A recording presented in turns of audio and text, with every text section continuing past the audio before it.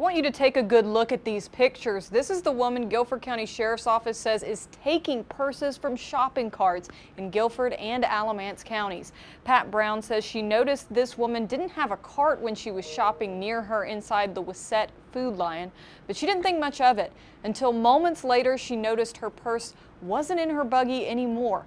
Gift cards, a small amount of cash, a credit card, and medical information were all taken. And now Brown is making sure other women don't end up in the same situation.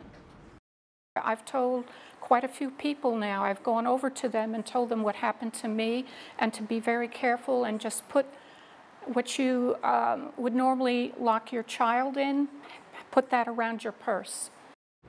Brown says she feels lucky her car keys weren't in the purse. She worries, worries her car might have been stolen too if they had been. You've been letting us know how you avoid purse snatching. April says she always carries a crossbody purse when shopping. Jonice says she doesn't even carry a purse. I'm with you there. Wesley says his mother used to use the, ch the child lock straps too so that if someone tried to snatch her purse, the whole cart would move and catch them.